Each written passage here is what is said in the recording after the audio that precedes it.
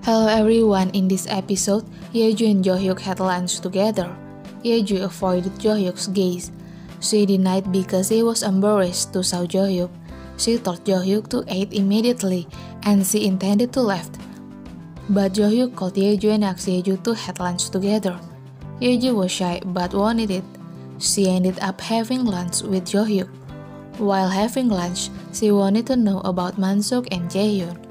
Joo Hyuk told Yeju that Mansuk was strict while Jaehyun was more relaxed. Yeju asked about Mansuk and Jaehyun's personalities because he was worried about Kang San dating Mirei. She was afraid that Kang San would have a hard time because of dating Mirei.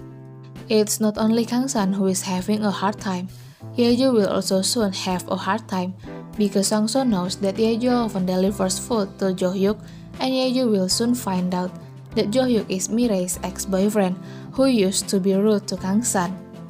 Okay everyone, that's this in this time and thank you for watching my video.